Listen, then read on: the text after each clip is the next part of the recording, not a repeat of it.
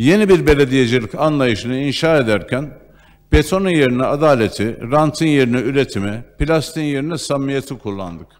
Hizmete en çok oy verden, oy veren yerden başlamayı değil, en çok ihtiyacı olan yerden başlamayı ilke edindik. Bu kentte yaşayanları zümresine, ilçesine, siyasi görüşüne göre ayırt etme anlayışını ortadan kaldırdık. 6 milyon Ankaralı'yı bir aile olarak kabul ettik.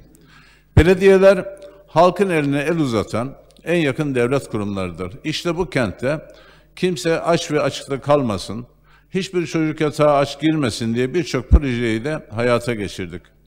Çocuğuna süt içirerek ve et yedirerek protein almasını sağlayan bir annenin umut dolu bakışını, onu evde üşütmeden bir büyüten bir babanın vakır duruşunu en büyük kazanımız olarak kabul ettik.